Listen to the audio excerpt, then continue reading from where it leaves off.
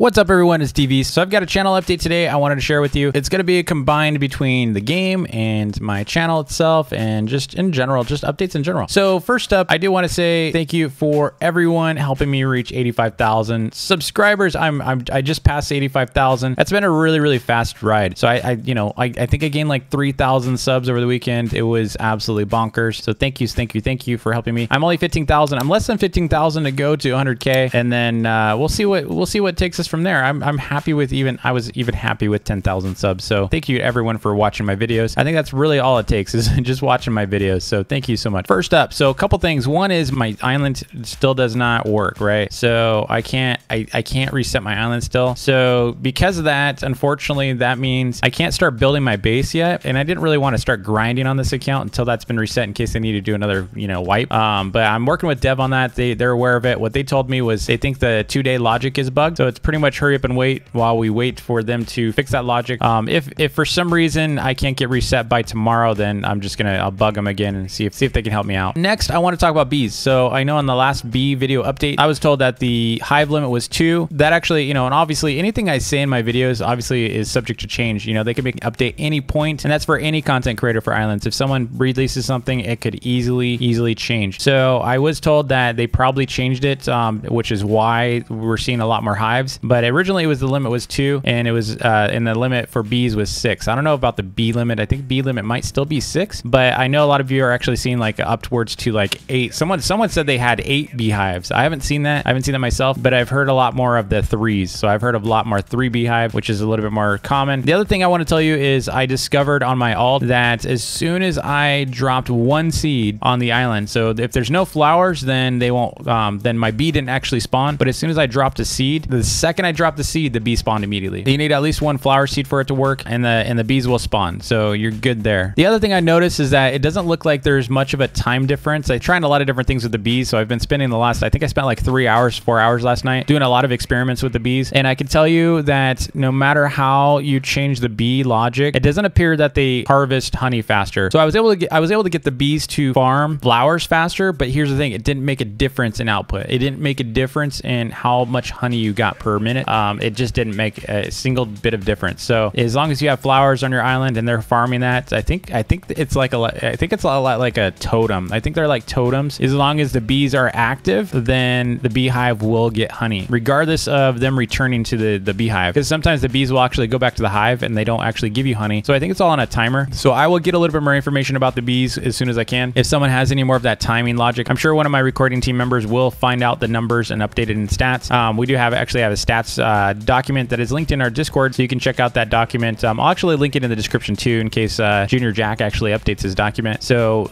you can check that out and see how often you're going to be able to get honey and you know what the rate is based on each bee. I'll see if you can actually put something together for that. And as far as the channel, what I'm going to be doing over the next couple days, most likely while I'm trying to, you know, while I'm waiting for this reset, I'm actually going to make a couple build a boat for treasure videos. I actually had a lot of fun playing last night. I, I jumped on the Discord and I streamed playing build a boat for treasure, and it was a ton of fun. I, I really enjoyed it. Um, and I see I could see why a lot of players play this game and that game. Now JesseTC, I've linked his channel in the description. He is the king of build a boat for treasure. My videos for build a boat for treasure are going to be noob to noob. it's going to be a noob to noob video. So you will not be seeing any kind of pro skills from DV. But I'm going to show you some other builds from people and, and you know that I, I, thought were really cool and uh, showcase in a couple videos. And I do have a couple other videos in queue for Roblox Islands that have been it just take they just take a little while. You know, it's building up a set, it's building up the script and stuff. So we got a whole story series coming to Roblox Islands. It's just a, it, it just takes a lot of work to make good content. So I'm working on that. And then as far as the build contest, everyone's like, DV, you know, what's going on with the build contest? We're waiting forever. So we, like I said, we had 1,600 submissions. Um, unfortunately, 90% of the people did not actually fill out the form or sign up correctly. It's taken forever for us to get through every single comment. I mean, not only that, but YouTube makes it really, really hard for us to traverse comments. So if, you know, trying to get to the bottom of 1,600 comments is really, really hard. And now that we've added more and more comments, it's actually more like 4,000 comments almost. So it just takes a little while for us to get through them. And then we had some people that, you know, were assigned and had to be reassigned because of, you know, life situations. So it's a little bit difficult. You know, we don't have like this entire staff here that's working against, you know, through all the different signups. So just bear with us. We're and you're not going to get DQ'd as long as you are replying in the time that we ask you to. Um, so if we say, you know, send us a friend request and you do that pretty quickly, then you're all good. You know, you're not going to get eliminated as long as we've seen your island. Um, now, if you did not respond in a timely manner, because we had a lot of people that have not responded and they are being eliminated updated now. Um, so if, if you didn't respond in time, unfortunately, you're probably gonna have to wait until the next contest because I did tell everyone make sure you keep an eye on your your post. If you haven't responded yet, then that's a oof. And there's always gonna be the next contest. I think I'm gonna do an obby contest pretty soon here, but we're gonna handle it a little bit differently. So the way I'm gonna do it is I'm gonna actually require a screenshot be submitted through a Google form along with your sign up. And so how that'll work is you won't submit your entry until you're ready, and that way we could just sift through it all and then um, narrow it down. So if we get 2,000 plus submissions for obbies and mini games, we don't really want to have to be going and visiting people's islands and adding them and coordinating times and between time zones. And it's just it's it's a lot of work. A lot of people don't realize they're like I haven't heard yet, you know, and they're getting frustrated. But the the problem is is it's a lot more work than you think. Anyway, we're still working on those. Um, we do have I think I think we're down to like a thousand that haven't been reviewed yet out of the 1,600. So we're, we're we're inching through that pretty quickly. I've been blowing through a bunch of them. I, I think I'm assigned like 800 of them myself. I'm blowing through them. I've got a bunch that I've actually approved last night um, for next rounds for judging. Just be patient. I'll update the timeline pretty soon here. Um, essentially, what's going to happen is the finalists and judging is going to just move out probably a week or two, and uh, we'll be done probably. I'm, I'm hoping we'll be done by mid September now. So just just hang in there. This will be great because I know a lot of people are actually in school right now. So this will give you a little bit more time to be able to digest what's going on instead of us completing everything right away. It's just going to take a little longer. But and last thing I want to talk about, which is kind of interesting, I think for some of you, is what is end game in this game. We've been talking about the economy a lot as far as like okay, you know, duping and how it affects everything, and you know that's why I did my island reset. But what what's beyond that? Like what is what's next? Like if you're a new player, what what are you trying to get to? Is there an end game? What is OP?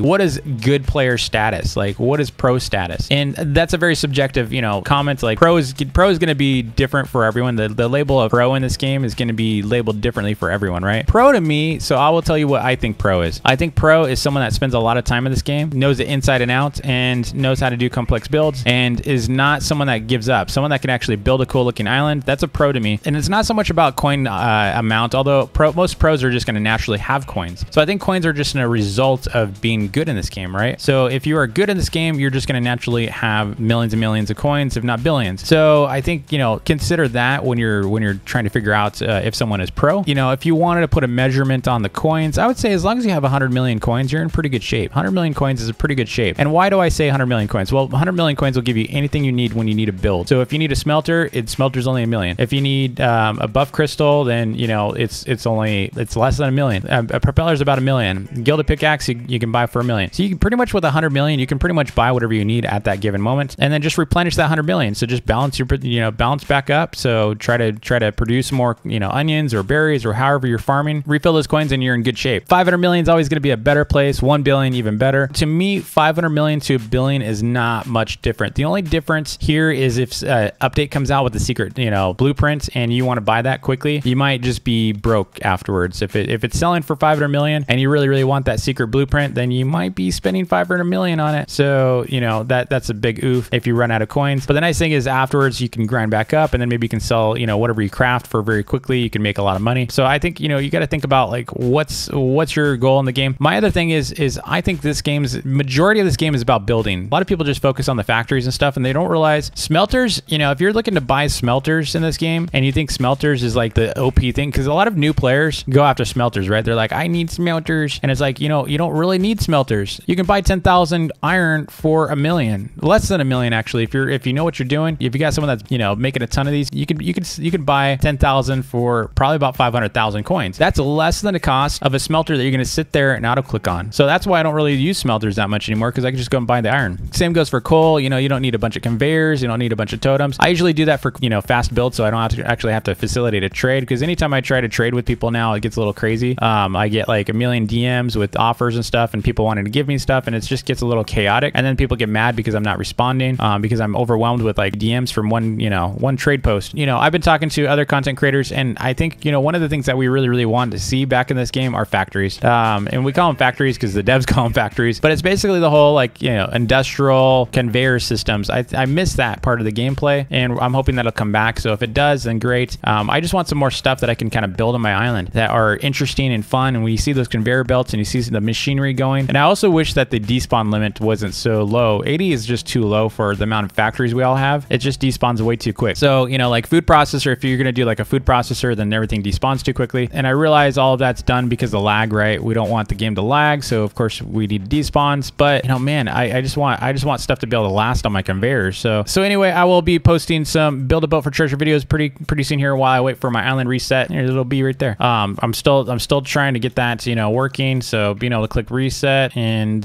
hopefully that will work pretty soon here. So so I hope you did enjoy the video. If you did, hit that like button and smash the subscribe button if you are new. And I will see you all next time. Take it easy.